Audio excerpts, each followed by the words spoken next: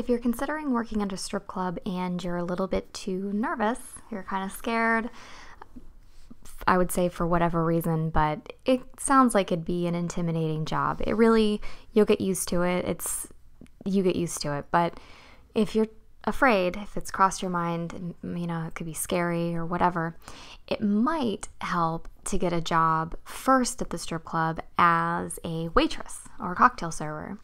Then you could get used to being in the club, used to going into work, used to the people that you work with, just be very familiar with the place and take advantage of that opportunity and watch the girls who make money. You'll be able to figure out pretty quickly who's making money and who's not, and I guarantee it will consistently be the same girls that are making money and consistently the same girls that are not making money that could possibly end up not being true, but in my experience, it's always the same girls that are making money and it's always the same girls that aren't making money. And I will tell you right now, it has nothing to do with how pretty they are.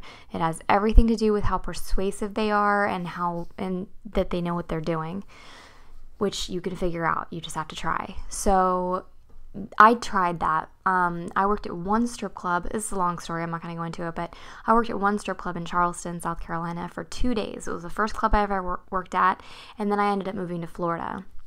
And when I got to Florida, I decided to be a cocktail server instead of a stripper. And I started off at a club down there, and I was maybe making $100 a night waiting tables. And then my roommate robbed me, and she took all the money that I had. I had it all in cash. And I needed $1,300 for rent in two weeks. Um, I had just moved down there and I did not want to get kicked out of my apartment that I just moved into. So I went into work one day and I told my boss what happened, and he goes, You know what you got to do, right?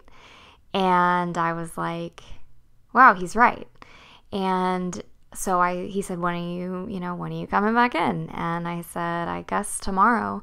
So I showed up on a Tuesday night and I made $700 my first night.